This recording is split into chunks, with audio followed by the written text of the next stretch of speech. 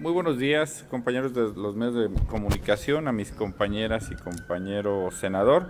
Eh, eh, estamos aquí porque voy a presentar una iniciativa. El día de ayer el propio secretario de Comunicaciones y Transportes hablaba del por qué no se ha verificado durante este año el transporte público federal de carga, que nos parece un despropósito y siempre con este sobretexto de la pandemia. Y este tema nos ocupa prácticamente al tema del autotransporte de doble remolque, que en otras legislaturas ha habido iniciativas para poderlo prohibir por, lo, por, por, el peligro que representa, pero que hoy vemos que tampoco este gobierno está haciendo nada ni por regularlo ni por eh, normar este, este autotransporte. En México están rodando por nuestras carreteras alrededor de 30 mil este, autotransporte de doble remolque.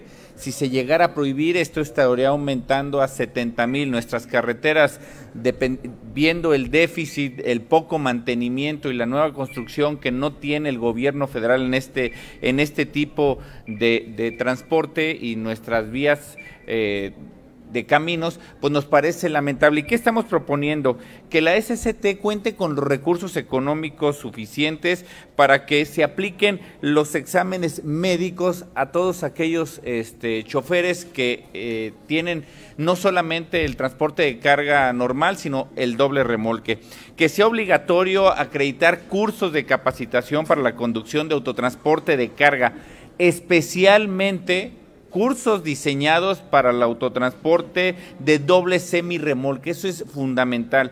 Que en caso de emergencia sanitaria no se interrumpa por ningún motivo las actividades de vigilancia del autotransporte ni la expedición de las licencias federales, como desgraciadamente sucedió con este pretexto de la pandemia y que también hay que decir, estos ahorros en ningún lugar sabemos en dónde pudieron quedar realizar la verificación y control más rigurosa de los pesos y dimensiones de todos los vehículos. Tenemos carreteras en pésimos estados porque el gobierno federal dejó de revisar el peso y las dimensiones y entonces vemos las consecuencias del diseño de las carreteras que tenemos diseñadas para cierto tipo de, peso y con estas eh, exceso de dimensiones y la no regulación del gobierno federal tenemos que los ciudadanos que transitamos por estas carreteras sufrir esas consecuencias. Establecer inspecciones de seguridad vial incorporar a la ley que se revoque, esto es fundamental, definitivamente la licencia federal del conductor que se le compruebe que está manejando con efectos de droga o de alcohol, que es muy común, pero que hoy la autoridad no hace esto que los vehículos de autotransporte federal estén obligados a contar con dispositivos de videograbación en su parte frontal para determinar la actuación de los choferes y el desempeño de los vehículos en casos de accidente. Esto ya sucede en muchas partes del mundo.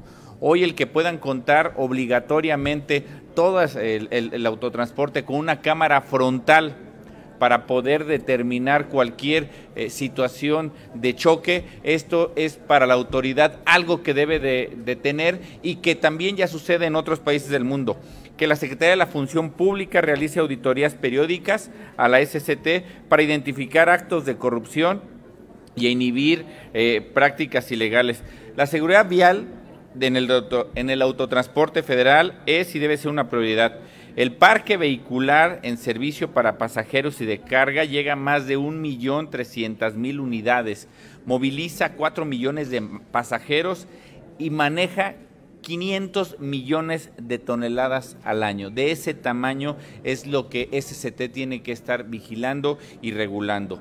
Es necesario fortalecer el marco y más allá de prohibirlo, es regularlo y con eh, candados muy específicos para regular este serio problema que ya tenemos en